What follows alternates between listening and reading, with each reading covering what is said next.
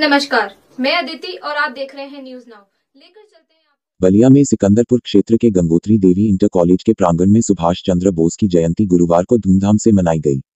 संस्था के प्रबंधक डॉक्टर नरेंद्र प्रसाद गुप्ता व प्रधानाचार्य राजेश गुप्ता सहित सभी अध्यापक अध्यापिकाओं ने सुभाष चंद्र बोस की तैलचित्र पर पुष्प अर्पित कर उन्हें नमन किया।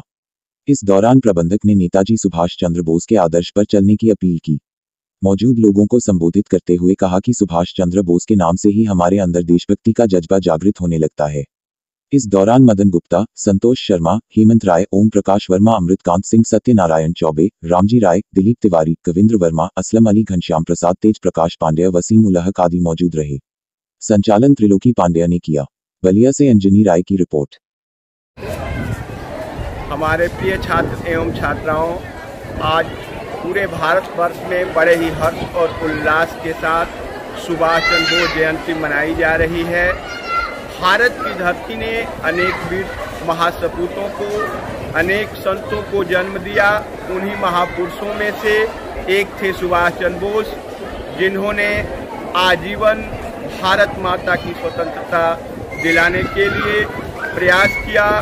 उन्होंने भारत को अपनी कर्म स्थली मानकर आजीवन जो है अंग्रेज़ों से संघर्ष करते रहे, उन्हें काफ़ी यातनाएँ सहनी पड़ी, फिर भी जो है अपने कठिन परिश्रम के बल पर उन्होंने भारत माता को स्वतंत्रता दिलाई और देश को आज़ाद कराया।